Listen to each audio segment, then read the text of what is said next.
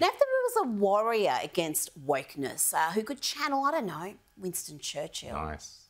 We can't just stand idly by while, while, while woke ideology ravages every institution in our society. We must fight the woke in our schools. We must fight the woke in our businesses. We must fight the woke in government agencies. We can never, ever surrender to woke ideology. And I'll tell you this, the state of Florida is where woke goes to die.